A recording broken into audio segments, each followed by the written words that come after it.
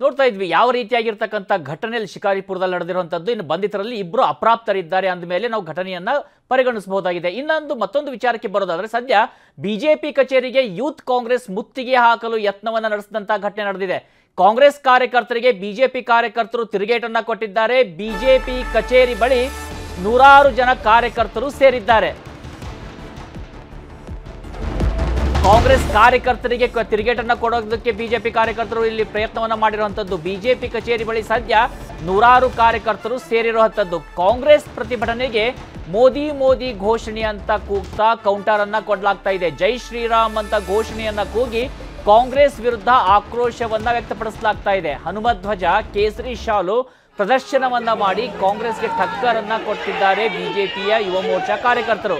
Youth Congress ಕಾರ್ಯಕರ್ತರನ್ನ ಸದ್ಯ ಪೊಲೀಸರು ವಶಕ್ಕೆ ಪಡೆದಿದ್ದಾರೆ.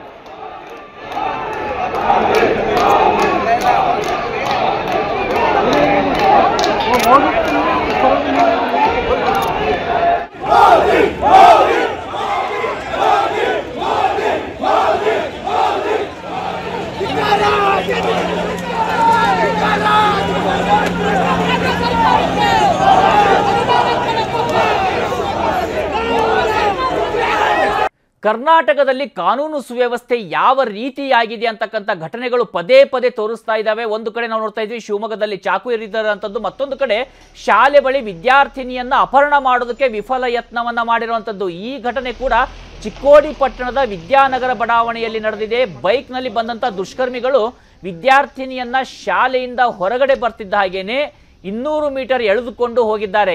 ಈ ವೇಳೆ ವಿದ್ಯಾರ್ಥಿನಿ ದುಷ್ಕರ್ಮಿಗಳ ಕೈಯನ್ನ ಕಚ್ಚಿ ಎಸ್ಕೇಪ್ ಆಗಿದ್ದಾಳೆ.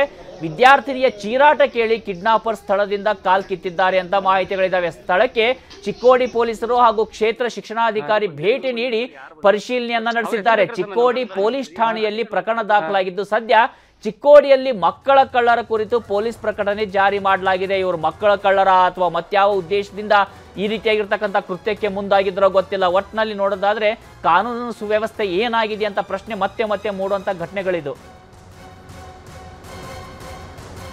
ಕನ್ನಡಿಗರ ಮೆಚ್ಚಿನ ನಿಮ್ಮ ನ್ಯೂಸ್ ಏಟಿನ್ ಕನ್ನಡ ಈಗ ವಾಟ್ಸ್ಆಪ್ನಲ್ಲಿಯೂ ಲಭ್ಯ.